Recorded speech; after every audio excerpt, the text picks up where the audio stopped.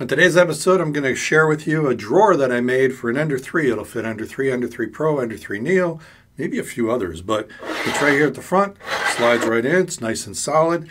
And I'll also show you how to fix really rough top surfaces and make them nice and smooth. All on today's Filament Friday. This video is brought to you by the generous donations of my Patreon supporters. This video is sponsored by Creality3DOfficial.com by ComGrow. I went to Tinkercad and I designed this drawer for an Ender 3. It mounts to a rail and it slides inside this simple box. I designed it to slide into the aluminum extrusion right behind the LCD bracket and once that's in place, it's the perfect length to hold it in place. I brought it into Cura and I'm printing it standing up. That way I don't have to use any supports to print this thing.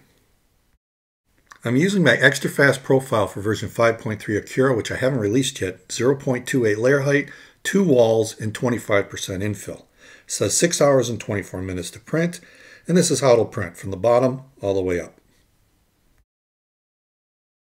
Once it was printed, I need to install it on the Ender 3. To do that, you remove the two screws from the bracket that holds the LCD screen and slide it to the side. Now the box will slide right in the rail and you notice when it's all the way back, it's flush to the front of the aluminum extrusion. So when we put the LCD bracket back on, this thing shouldn't move at all. So I'll slide the bracket back over, put the two screws back in, one on the bottom, one on the top, and now when I pull this thing, it's tight. It's not sliding anywhere.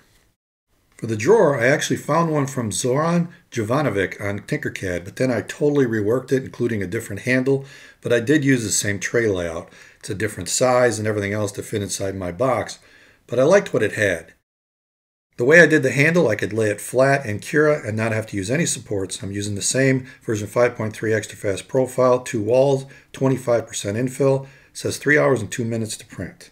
It printed from the bottom all the way up, and it printed pretty good, except for the handle. I'll talk about that in a minute. But it slid in perfectly inside the box and fits fairly tight, so I don't have to worry about it sliding out. But here's the handle. Look, it's all bubbled up. And I had three top layers in this. I thought that would be enough. So I wanted to try different settings. So I just took the handle off of it and I'm just going to print the handle and try some different settings in Cura. So instead of printing the drawer over and over, all I needed to do was print the handle. And that's what I did multiple times with multiple different settings until I finally got it at the end nice and smooth.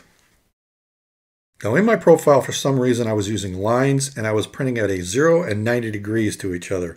And then in the top and bottom pattern, I did the same thing, lines and 0 and 90 degrees to each other, which didn't work well with the cubic infill that I had. So this is the way I would print, all the way across and then forward and back. And it just didn't like it. And so what I did is I changed it to zigzag for the top surface skin pattern and I left that as default because it should follow what I'm setting down here at the top and bottom line directions which I made zigzag and then I went 45 degrees and 135. That way it's angled away from the front and the back and that seemed to really clean things up. So when it got over the top of the infill it came out nice and smooth. And here's the results. A much smoother, no bubbling, much better handle. Now you could just increase the infill, and I tried that and it helped, but it didn't completely solve it. In fact, at 25% infill with the zigzag and the 45-35, it came out smoother than a 50% infill. So I wanted to see what I could do with the 25% and make it smooth, and I did. I found it was better with that 45-135 and a zigzag. Now I did do 45-135 with lines, and it did get better.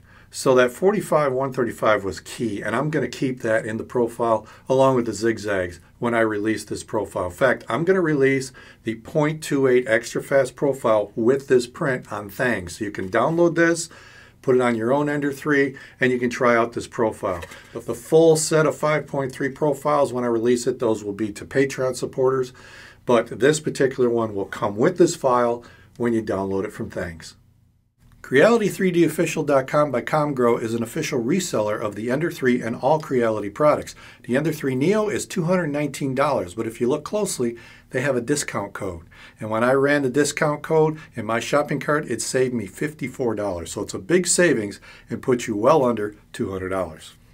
So if you're looking at getting an Ender 3 Neo, check out Creality3DOfficial.com by ComGrow. If anybody wants to remix this, please do it. Download it from Thangs, remix it, and re-upload it, and show me what you did. I'd love to see different variations of this drawer. If you like what I'm doing here, maybe check out some of the other videos popping up. If you want to help support the channel, Patreon is one way to do it, or just buy through affiliate links in the description below.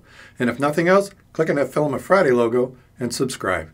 I'll see you next time right here at Filament Friday.